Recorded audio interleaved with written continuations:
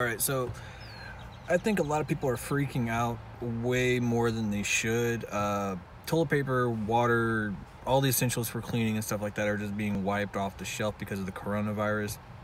I do pray that we are safe during the event, or not event, panic, because people are going nuts driving, bat out of hell out of the parking lot. I'm over here at Sam's Club, that's where I work at right now and it's just crazy. I mean, people are nuts inside. Like we normally have 800 carts, 70 to 75 flatbed carts, and they're all being used inside the store.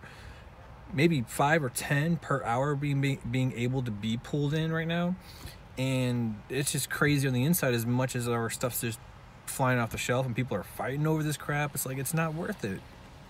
Not worth it at all. I always suggest people to, to, do a little more research on the virus. I know they're going a little crazy on the news and everything like that, but essentially just keep yourself clean for the most part. Uh, I don't know too much about it. I don't really panic when it comes to stuff like that, but I do hope everybody is safe out there. Hope you're safe. Any of my viewers as well, but uh, for the most part, Sam's Club is just wiped out they only get like one or two trucks a day and even then as soon as they get put on the floor people are just tearing them apart and pulling everything so. Yeah i uh, wish you all the best and everybody out there be safe and let's see if we can get through this. Later